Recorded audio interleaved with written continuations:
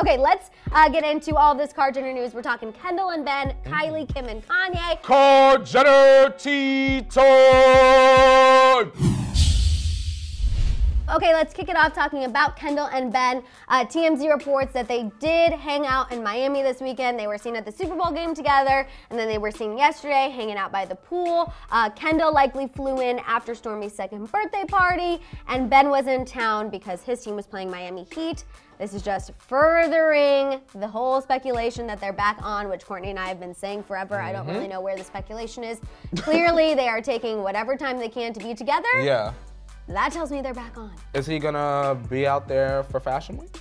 So I don't know about Fashion Week, but I know that once the off season hits, he does plan to come back to LA and spend some time here. Distance was always kind of the thing that kept these two apart. Uh huh. So they seem to be making it work at this point. Well, I wonder if their relationship will survive the off season.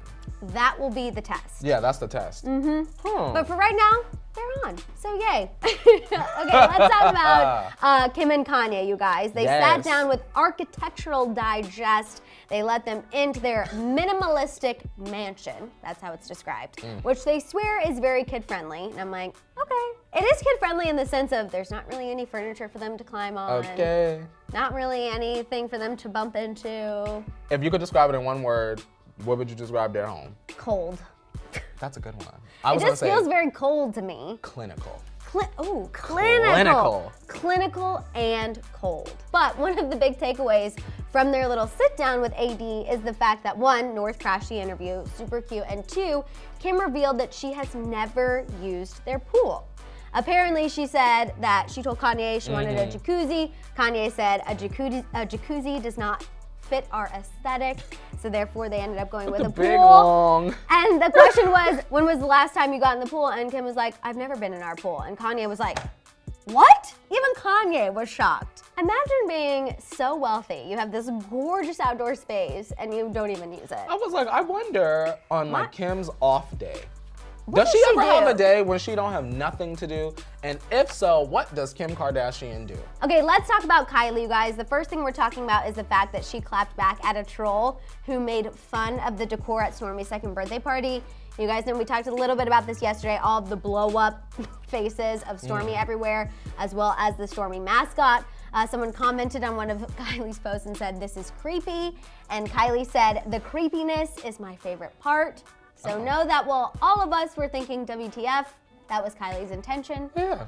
Yay, Kylie. Yeah. Uh, but the real thing we want to talk about is this new report from TMZ about Kylie and Travis. Mm. They are reportedly inching closer towards a reconciliation. Uh, sources close to the two said that Kylie and Travis were giving off major signs of being more than co-parents at Stormi's birthday party this past weekend. TMZ reports, quote, they looked more like the romantic couple they used to be.